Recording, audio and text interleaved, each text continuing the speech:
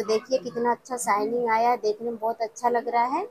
तो ये हमारा कस्टर्ड मैंगो हलवा बहुत अच्छा हुआ है और खाने में बहुत अच्छा लगेगा।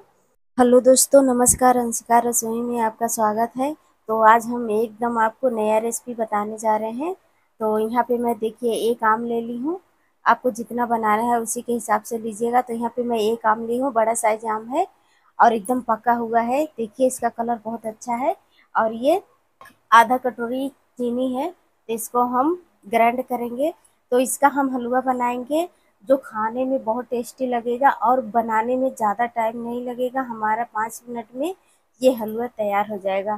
तो यहाँ पे ये जो शक्कर है, अगर आपके पास भूरा है, पिसा हुआ चीनी है, उसको यूज़ कर सकते हैं। तो इसको हम ग्राइंड जार में जा रहे हैं, डालने, इसको पीसने जा रहे हैं। उसके आगे का बताती हूँ। तो यहाँ पे आप देख सकते हैं, ये चीनी जो है, इसका एकदम अच्छे से पाउडर बना ली हूँ। अब इसमें हम ऐड करेंगे, ये जो कटा हुआ आम है, ये छोटा छोटा पीस इसको कट कर लीजिएगा, इसको अब ग्राइंड करेंगे। तो यहाँ पे आप देख सकते हैं, ये कस्टर्ड पाउडर है और वनीला फ्लेवर का है।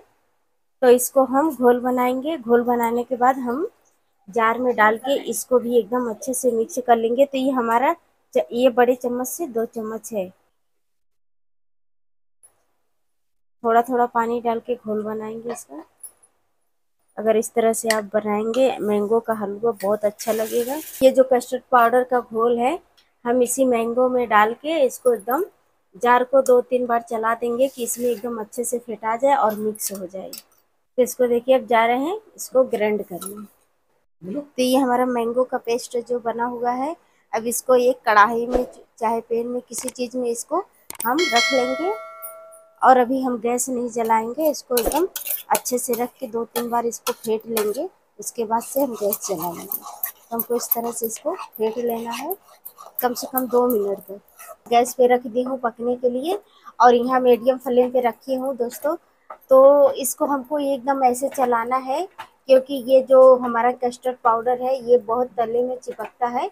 इसके वजह से हम इसको जितना ही चलाएँगे, उतना ही अच्छा होगा, और ये हमारा कस्टर्ड मैंगो हलवा बहुत अच्छा बहुत लजीज बन के तैयार होगा। अगर मैंगो का सीज़न चल रहा है, आप ज़रूर इस तरह से अपने घर पे ट्राई करके देखिए ये मैंगो कस्टर्ड मैंगो हलवा कितना मस्त होता है खाने में, एकदम टेस्टी होता है। तो यहाँ पे आप देख सकते हैं, ये जो हमारा हलवा है, ये देखिए कितना गाढ़ा हो गया है। तब इसमें हम इसी स्टेज पे घी डालेंगे। और घी डाल के इसको एकदम अच्छे से मिक्स करेंगे। दोस्तों, हम मीडियम फ्लेम पे इसको एकदम ऐसे फेंटते रहेंगे। जब तक ये कढ़ाई ना छोड़ दे, तब तक हमको चलाना है इसको। तो यहाँ पे आप देख सकते हैं, घी एकदम अच्छे से मिक्स हो गया है। अब इसको हम ऐसे एकदम चलाते रहेंगे कि कढ़ाई में तले में चिपके ना तो इसको एकदम ऐसे ही चलाएँगे, रुकेंगे नहीं। जब तक ये कढ़ाई ना छोड़ दे अच्छे से, तब तक इसको हम चलाएँगे। तो ये हमारा देख रहे हैं कस्टर्ड मैंगो हलवा कितने अच्छे से तैयार हो गया है। अब ये कढ़ाई छोड़ दिया है इसमें और हम थोड़ा सा घी डालेंगे कि इसमें एकदम अच्छे से शाइनिंग आ जाए।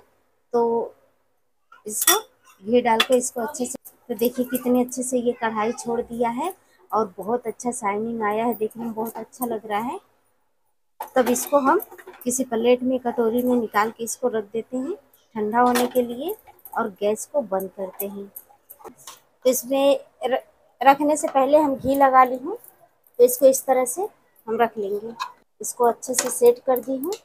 और इस पर अगर आपके पास कोई ड्राई फ्रूट है, ड्राई फ्रूट डालना चाहती हैं तो वो भी डाल सकती हैं ऊपर से। तो देखिए हमारा कस्टर्ड मैंगो हलवा कितना मस्त बना हुआ है, इतना अच्छे से शाइनिंग आ रहा है। देखने में बहुत अच्छा लग रहा है। तो दोस्तों आप ज़रूर आम का सीज़न चल रहा है, इस तरह से बना के देखिए और कमेंट करके मुझे बताइए कि ये हलवा कैसा बना हुआ है, कितना टेस्टी कितना लजीज। तो इसको हम आधे घंटे के लिए रख देते हैं, ठंडा होने के लिए, उसके बाद से हम दिखाते हैं। तो यहाँ पे आप देख सकते हैं, ये हमारा कस्टर्ड मैंगो हलवा कितना मस्त बन के तैयार हुआ है और देखने में बहुत अच्छा लग रहा है। तो इसको हम काट के आपको दिखाते हैं तो आप अपने पसंद का कैसा भी काट सकते हैं। तो इसको हम कट करके दिखा रही हूँ, बहुत अच्छा हुआ है। तो यहाँ पे आप देख सकते हैं, इसको मैं पीस में कट कर ली हूँ और देखिए कितना अच्छा से जम गया है। अगर इसको और टाइम तक रखेंगे तो ये और बढ़िया हो जाएगा। देखिए, ये हम कम से कम इसको दो घंटे रखिए, एकदम मस्त बन के तैयार होगा। तो हम दो घंटे नहीं रखे थे, एक घंटे में इसको निकाल ली हूँ। तो देखिए कितना अच्छा शाइनिंग आया है देखने में बहुत अच्छा लग रहा है। तो ये हमारा कस्टर्ड मैंगो हलवा बहुत अच्छा हुआ है और खाने में बहुत अच्छा लगेगा। तो आई होप ये वीडियो पसंद आया होगा तो लाइक शेयर कमेंट ज़रूर करिएगा। और मेरे चैनल पे नए होंगे तो सब्सक्राइब कर दीजिएगा। आज के लिए इतना ही है, फिर मिलते हैं नेक्स्ट वीडियो में। Tata bye bye and take care